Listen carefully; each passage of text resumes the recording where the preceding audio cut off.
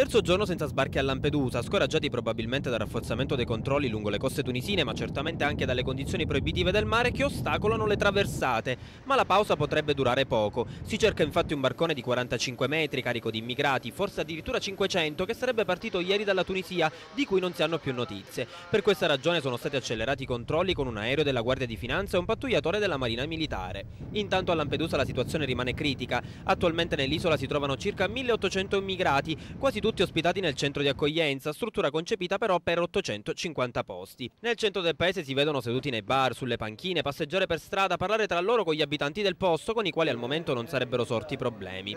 Ma oggi sono stati sospesi quattro voli speciali per trasferire gli immigrati, notizia che preoccupa il sindaco di Lampedusa De Rubeis. Per ora, afferma il primo cittadino, non ci sono problemi di ordine pubblico e tutti si comportano bene, ma l'isola è piccola e questa situazione non può essere sostenuta ancora per molti giorni.